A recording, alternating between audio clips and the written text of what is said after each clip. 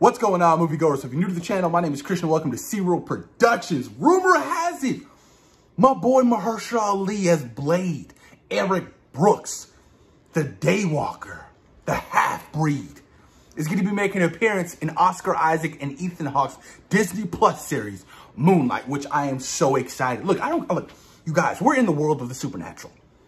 We are in the world of the supernatural, so things are going to look very different, and I'm hoping very dark-ish because I want to see a very different tone when we're talking with the world of the supernatural in the Marvel Cinematic Universe. Moon Knight has encountered vampires. Moon Knight has went up against Dracula.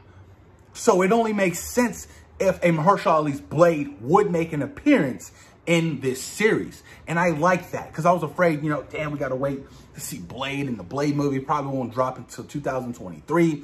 Long time by now, right? They're still working on the script. I know they probably won't start shooting that movie till maybe next summer. But if they're going down the route of the Civil War route of having Spider-Man, having Black Panther make their introductions into a film or a series or whatever, and then have their own solo movies, the Spider-Man Homecoming and Black Panther, I'm completely fine with that. I think it's a brilliant idea. It gets the fans even more hyped for their solo project. So if they decide to go down that route, you guys, this is some exciting shit. I cannot wait for Blade. I, I, I'm in love with the character. I loved those first two movies.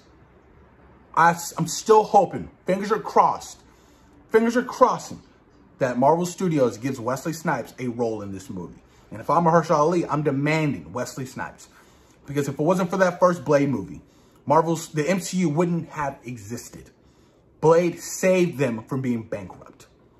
So yes, we all stand up for a round of applause for Blade. So I'm really hoping Wesley Snipes has some kind of involvement with this movie, you guys. That would be so freaking awesome to see. I just cannot wait, man. I, I like I said, I'm a little bit worried for the rating that it's still being PG-13 because, you know, I, I definitely think when you're dealing with vampires and stuff like that and like to go down the R the R rating, I feel like it's it's more necessary. You know, talking about like how just how Deadpool 3 is going to be R rated. Like, why not throw you know different other different films in that category as well, like under your Marvel Knights or whatever, and have that be your dark universe kind of kind of you know format. Why not? Like, come on, you know, just don't have Deadpool be you know R rated. You can have other R rated you know characters you know, under that same category. And I definitely do think that Blade should not be watered down to fit the certain narrative or audience. I don't think that should happen.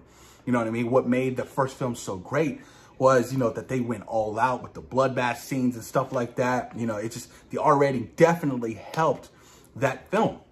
So I'm, I'm, I'm, hoping that, you know, Marvel Studios really, they, I'm hoping they change their mind, you guys. But I cannot wait to see, you know, Oscar Isaac as Moon Knight. You know, his second shot, his redemption role as a comic book character. Because we all know, we all remember him from, you know, X-Men Apocalypse as, you know, Apocalypse. Brother was like 5'11", small as hell with some heels on. I was like, bro, for real? Apocalypse supposed to be like over seven feet tall. Like, what's going on here? Gosh, man. That movie had so much potential, but it just it, it, fell flat on every single level. It really did. So I'm happy for Oscar Isaac. I cannot wait to see him really pick up the mantle and you know for not pick up the mantle, but start the mantle for Mark Spector. You guys, you know it's going to be such such an awesome thing to see. Cannot wait to see the first reveal.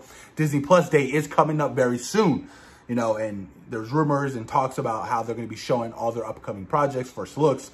Um, everything that they've been working on Marvel. So you have, we're probably get a first look at, you know, Miss Marvel, um, Hawkeye is already coming out in November. We'll probably get a first look at She-Hulk, Moon Knight. So everything that's, you know, currently being worked on for the Disney Plus series and possible um, more announcements as well because uh, Victoria Alonso, one of the executive producers that over at Marvel Studios, confirmed that they are working over 30 projects. That's being, you know, films and television shows. So that's massive and huge, you guys. But damn, you guys, this is a fun rumor to talk about. Like I said, you know, the, the fact that we keep get an interaction between, you know, Blade and Moon Knight and possible Rise of the Midnight Suns with Ghost Rider. Oh my God, Ghost Rider. Johnny Blaze. I'm still hoping we go down the Johnny Blaze route, introduce him first, and then eventually, you know, switch up whatever you want to do with that. But damn, an interaction. I just cannot wait to see the first look as Mahershala Ali's Blade, you guys. If this is true, that means my brother's already been working out. He's already been, his, his fighting game is already up. He knows, we know, they, we, they got the costume down already. You know, I'm, I'm really hoping that my brother has his hair. You know what I'm saying? Give him the, give him the high top fade. Like, I need that hair. I wasn't the biggest fan of the, you know, the bald version of Blade, but I'm really hoping we kind of have that similar look to Wesley Snipes Blade. Because that shit was perfect. Spot on. But post your comments down below, you guys. Let me know what you guys think about Mahershala Ali's Blade being rumored to appear in the Moon Knight series next year. Thoughts and opinions, you guys. Post your comments down below. Peace.